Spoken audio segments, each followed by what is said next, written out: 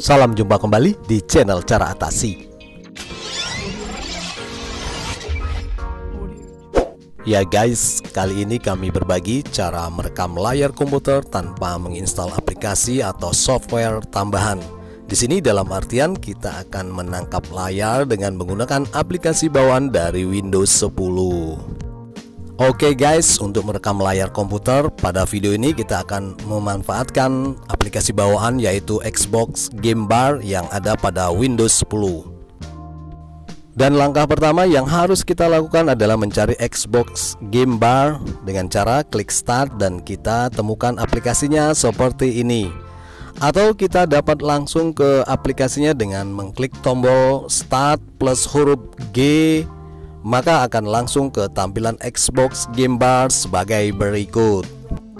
Nah, di sini ikon kamera ini untuk mengambil gambar layar atau screenshot. Kemudian ikon yang ini untuk merekam 30 detik terakhir dari permainan atau dari aplikasi yang kita rekam. Kemudian ikon ini untuk memulai perekaman video pada layar komputer kita.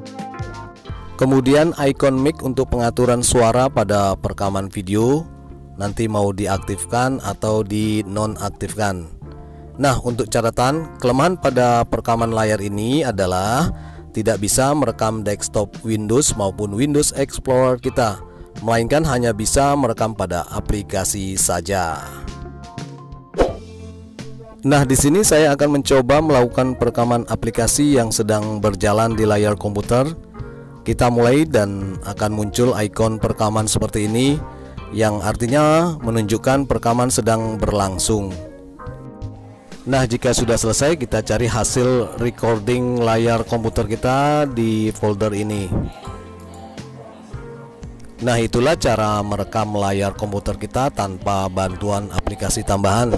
Demikian video ini, semoga bisa memberi manfaat.